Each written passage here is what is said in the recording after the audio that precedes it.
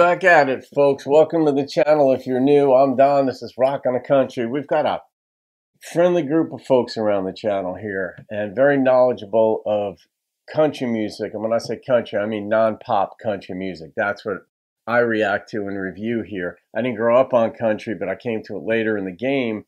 But now, after doing this channel for six and a half years, I've got some understanding, shall we say, of traditional country. And it's my thing. The depth the intellect, all of that just is just absolutely unmatched in my opinion. But it includes bluegrass, western, you know, Texas swing, red dirt, just non-pop country music.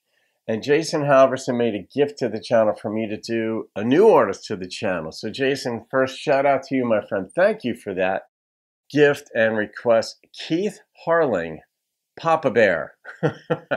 I don't know what that is, but I'll tell my, my the daughters that I never had, but they're my surrogate daughters. I'll say like, don't make Papa Bear come out or whatever. They know what that is. I don't get mad at them that often. You know, when they when they're in their 30s and stuff, you just kind of get sad when you don't hear from them, but you don't really get mad. All right, let's see what Keith has for us.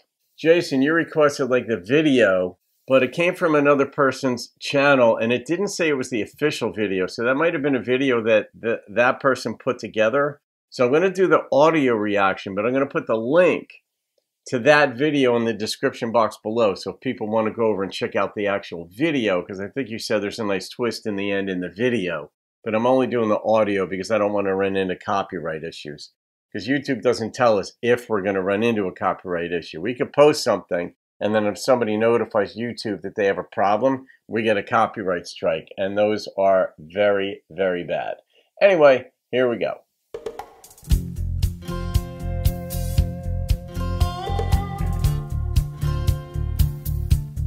Interesting.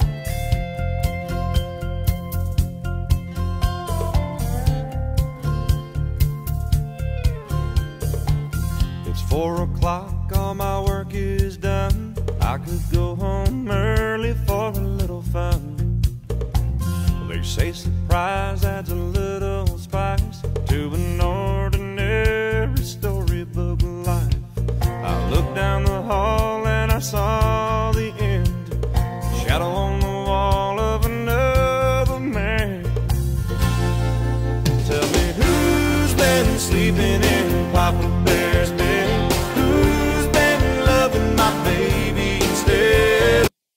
Damn, damn, damn. Jason, you got a theme going on with these two requests. Yesterday's and today. These are cheat. These are hardcore cheating song, songs. Ouch! But it's male. On one side, dude's doing the cheating, and, and this song here, the woman's doing the cheating. Yikes! I can't see. Tell me who's been sitting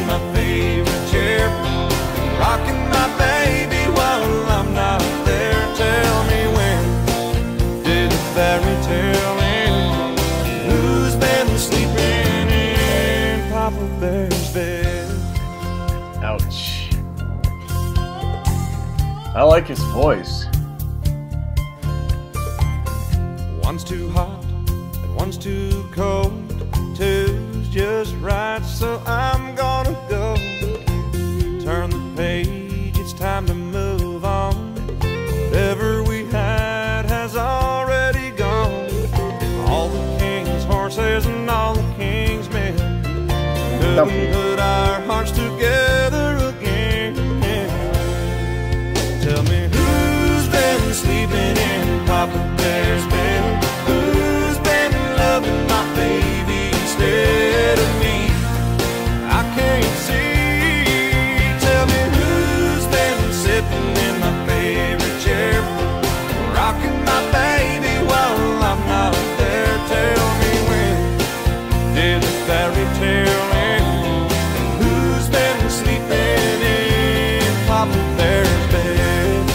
doesn't even matter, it's just someone has.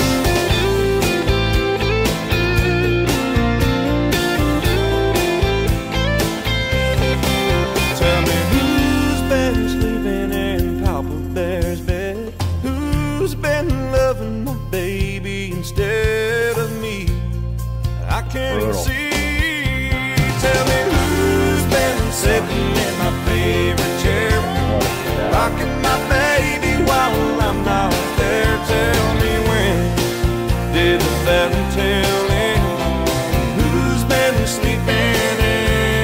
Papa Bear's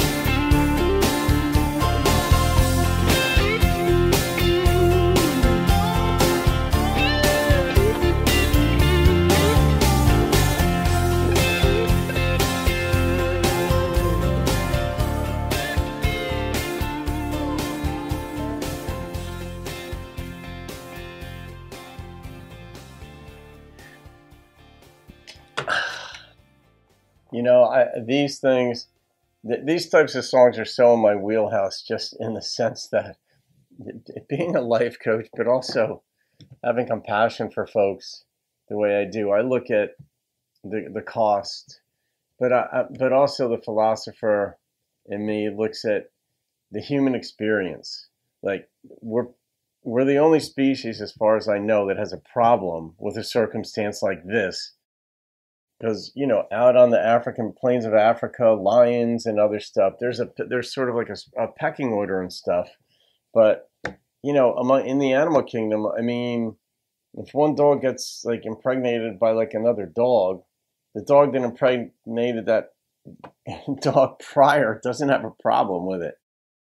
You know? I mean so I don't know. Is it just like the luxury of being human and being like the apex predator and seeking comfort? You know, like we have our homes, we want our couches, we want our food, we have all this stuff.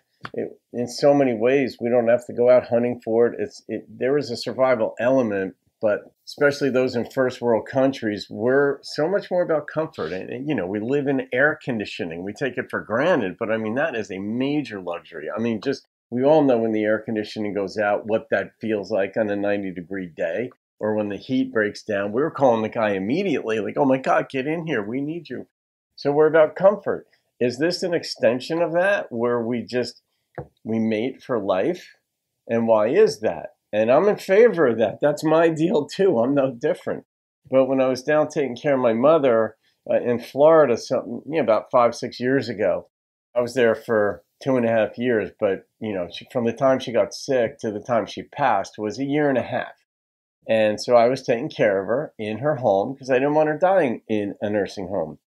And part of it was I got acclimated to, she lived in the villages. So it was um, retirement community life. But there were these sand cranes every so often that would just go walking down the road. And there were, and there were two of them. And they were like four feet tall. These things were tall, man. And my mom told me, because I'm like, Mom, look at these things. And she's like, Oh, those are sand cranes. And they mate for life. So they also stay together for life. But is there temptation, so to speak, to go elsewhere that one or both have? Or is it just instinctual once they choose their mate that it doesn't even dawn on them? And then when I hear a song like this, I'm like, of course, I'm hearing him sing the song. And I think, all right, man, that dude's heart's broken. You tend to identify the, with the one who's telling the story, which is why you, you know, when you watch The Sopranos or Breaking Bad, you're kind of rooting for those people at times. And then you're like, wait a minute, they're like murderers or drug dealers or whatever. But in this song, it's like, well, is what did this guy do that made her want to be with someone else? And I'm not saying it justifies the behavior, but when you look at the full story about why a relationship breaks down, you can ask questions. And I asked that question, not just for him, that even when, you know, a woman sings a song about the dude cheating. It's easy to write men off as just being cheating louses and stuff, and some are. But in this song with the dude, his wife was cheating, but what was he doing? He, he wasn't necessarily cheating. His heart's going to be broken, but that you know, there's more to stories. But of course, it's like there are good ways of handling a breakup, or if you fall out of love with someone, there there are good ways and bad ways of handling it. Sleeping in your own bed, it's like, gosh, man, get, go go somewhere else and get a room. But all right, Jason, yeah, I'm gonna rate this one. You put me through the ringer two two in a row, man, of these hardcore cheating songs. I loved I like the instrumentation in this. I like there's sort of like a heartbeat underneath the whole thing, and the bass was just kind of going right along, keeping the tempo up in this thing. And I did like his his voice. It wasn't overly whiny. He wasn't trying to sell me anything. He was just telling the story. And I liked the way they wove in the Humpty Dumpty and the fairy tale theme with Papa Bear and all that. All right, the number that popped into my head was an 8.9. Uh, we call that a Montauk Ed special around here, so that lives on. All right, Jason, thank you for that, my friend. Have a great day, folks. I'll see you on another video. Keep rocking the country.